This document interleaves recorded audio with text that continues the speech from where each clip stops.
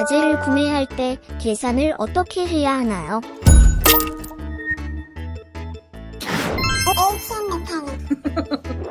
예, 안녕하세요. 오늘은 저희 공장에서 이제 생산하는 자재에 대한 유효 폭과 시공을 하실 때 몇 메다 정도를 쓰시고 어떻게 발주를 넣으시는 메다 수가 나오는지에 대해서 간략하게 좀 설명을 드리기 위해서 영상을 촬영하게 됐습니다. 저희가 생산하는 자재에 보면은 전체 폭이라는 폭이 있고요. 그 다음에 이제 유효 폭이라는 폭이 있는데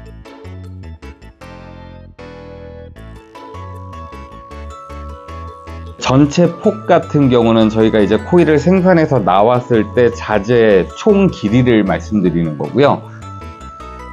유효 폭이라는 거는 저희가 시공을 할 때 뭐 한 고를 겹치기도 하고 옆으로 껴서 넣기도 하기 때문에 이제 껴서 넣거나 덮었을 때 최종적으로 딱딱 마감이 지어 나가는 이제 폭을 유효 폭이라고 이야기를 해요. 그래서 자재를 뽑으실 때는 꼭 유효 폭으로 뽑아 주셔야지 이제 전체 폭으로 뽑아 주시면 부족하실 수 있으니까요. 유효 폭을 꼭 참고하셔서 자재 발주 넣어 주시면 될 것 같습니다.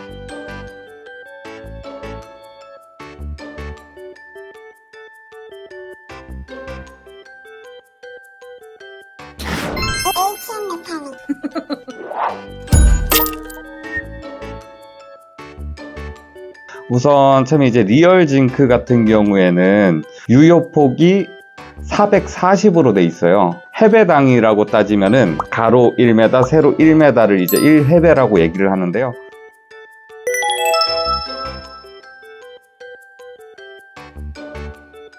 이제 헤베당 2.3m가 들어간다라고 생각을 하시면 되고요. 그 다음에 interlock zinc 같은 경우는 유효폭이 370으로 돼 있어요. 1회배 시공을 하실 때는 2.8m가 들어간다. 생각하시면 됩니다. 그리고 비트 템바 같은 경우는 유효폭이 285가 나오고요. 그래서 이제 1회배 시공하실 때는 3.6m가 들어간다고 계산하시면 될 것 같아요. 그리고 50 템바도 마찬가지로 유효폭은 265 나오고요. 해배당 따졌을 때 3.8m 들어가고요. 징크형 징크 250 칼라강판 같은 경우에는요. 유효폭이 750 나오고요. 이제 해배당 들어갔을 때 1.34m 들어간다라고 보시면 될 것 같아요. 그리고 S골 강판 같은 경우에는요.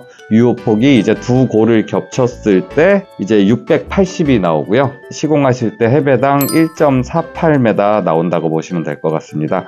그리고 전통기와 소골 같은 경우는요. 유효폭이 이제 700 나오고요.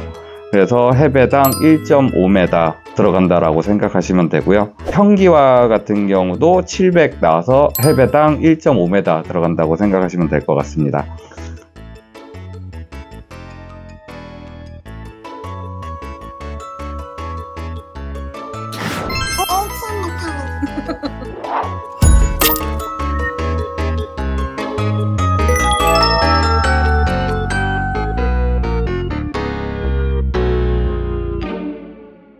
믿고 쓰는 자재 HM 메탈릭